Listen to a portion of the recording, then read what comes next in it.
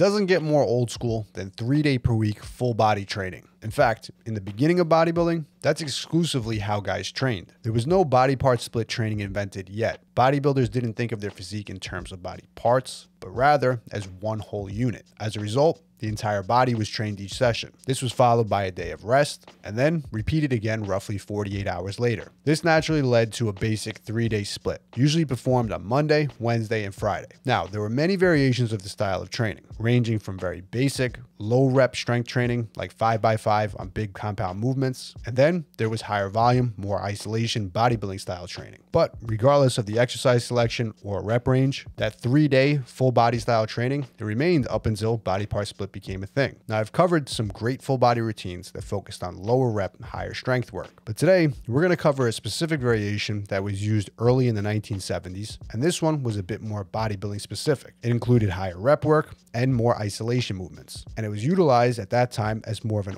off-season weight gain program. This transition from an off-season three-day full body workout to a five-day more body part specific split as the contest got closer. The idea was more rest in the off-season to grow, but as calories were reduced and muscle maintenance was the goal, more frequent, shorter workouts were completed. But let's jump into the exact three-day plan first. Each exercise was to be done for three sets of 8 to 12 repetitions. The workout started with chest. First, we had the flat barbell bench press, followed by the incline barbell press, and then finished off with dumbbell flies. After that, it was on to back. To start this body part, dumbbell pullovers were first, followed by barbell rows, and then to complete the back were chin ups or lat pull downs. And after the chest and back was completed, it was then onto arms. Starting with incline dumbbell curls for biceps, the movement was then supersetted with close grip bench press for triceps. Then it was onto barbell curls and tricep press downs, concentration curls, and dips. And after finishing off arms, we then would move on to shoulders. Behind the neck press or overhead press was a staple mass building exercise for the delts. Following that was the dumbbell lateral raises. And in some cases, these movements might even be supersetted. That's it for the upper body work.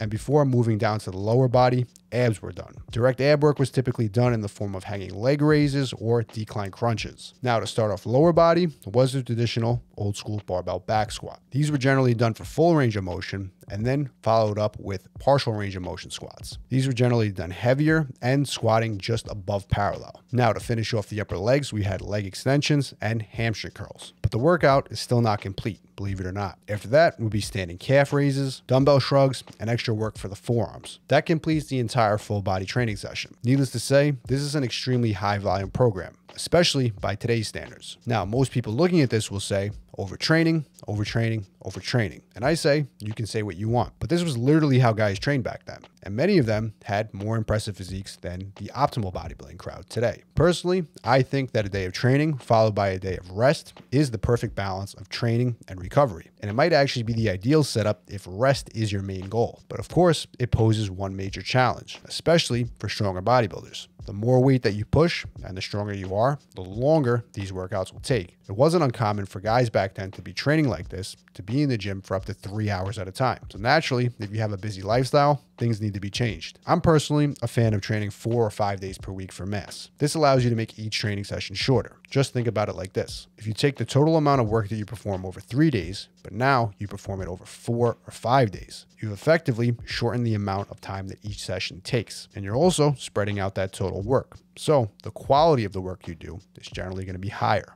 As in this case, you're not cramming in legs after you've completely trained the entire upper body. But don't think that by any means a three day full body split is not effective. But there are many ways to alter it to get even more out of the system. One of my favorite ways to do this is to have higher priority days. For example, just like this program, most guys literally completed the exact same workout every time they went in the gym. The same thing that they did on Monday, they would do the exact same thing on Wednesday and Friday. And personally, when I program a three day split, I'll actually have three different workouts, and each one of them prioritizes a different body part or a goal. Monday might be a full body session, but we might actually focus on the chest. The volume might be higher for that body part. We might do more exercises or more taxing movements. The body part that's prioritized will also be trained first, and then we'll still train the rest of the body, but with a lower volume. And less taxing movements. On Wednesday, we'll still train the full body, but the priority might be the back. On Friday, we'll do the same thing, but for the legs. In this case, you can flip flop the order. You train legs first and the upper body second. This allows for a more balanced training split, but still keeps the traditional Monday, Wednesday, Friday full body split. And if you want the exact training plan that I personally put together for a full body three day split training, you can check out my three day mass gain training program down below. But as I always say, three, four, or five day splits are generally the ones that I recommend for mass. But you should use the training program that fits your personal lifestyle, goals, and preferences. And if you like this video, and if you want to see more of the best original bodybuilding content just like this,